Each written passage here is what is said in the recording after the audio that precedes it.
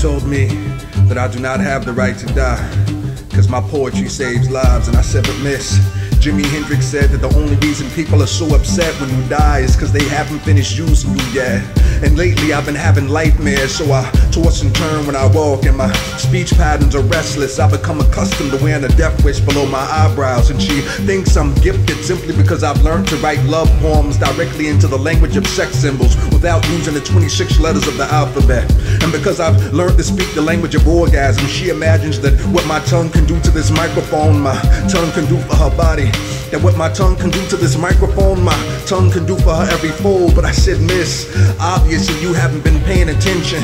I'm just an asshole from New Jersey trying to avoid hell like the rest of us. And lately I've been walking up to senior women on the street and telling them that I love you. Cause I'm thinking they may die soon. And I'm not sure that they've ever been told before. And I ain't never sold my soul before. But I've been known to tempt evil with nudity and a seductive dance. And I still remember betting the wilds of ancient men while their husbands were away on expeditions, searching for the ends of rainbows. And when evil is, evil knows. And this that I use is far more ancient than voodoo. I keep telling these poets their spirits at work here. This is beyond mere dues. Pay attention. How the hell could I be afraid to stay black and die when I was born blue? Tell me who would show up to London in the year 2000 with no place to stay and no money? Just a head full of poetry and a bag full of CDs. Poet, please. Who else would walk away from three degrees and spend his life trying to help save those of strangers and enemies? These imposters ain't never been to the crossroads. It's too easy now. You can sell your soul on the internet. All you need is the email address and PayPal. And somehow I've got scores of poems memorized. And I still feel the pain clogging up my arteries from all the truth that remains trapped inside.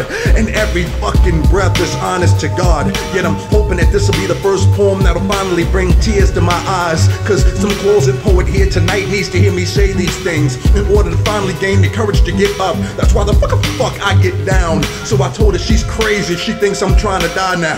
There are people suffering here, and I still got elixirs to figure out. So baby, slow your roll. Cause what you imagine my tongue can do to this microphone, my pain can sure as hell do for your soul.